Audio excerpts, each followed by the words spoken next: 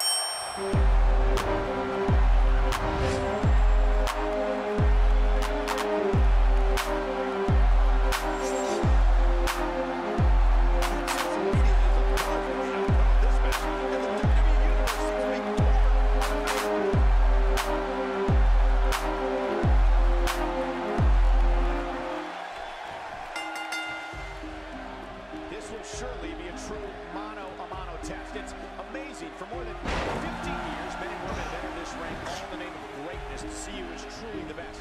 I think when it's all said and done, we'll be talking about this match for a long time. Well, in these matchups, you've got no.